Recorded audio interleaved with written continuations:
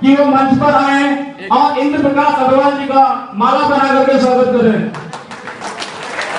देवानंद जी अगर मेरी आवाज़ सुन रहे हो तो आगे आए और इंद्र प्रकाश अग्रवाल जी का माला बना करके स्वागत करें।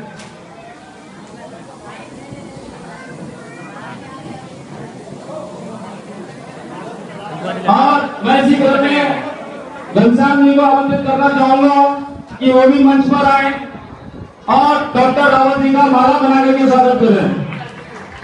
घनश्याम जी।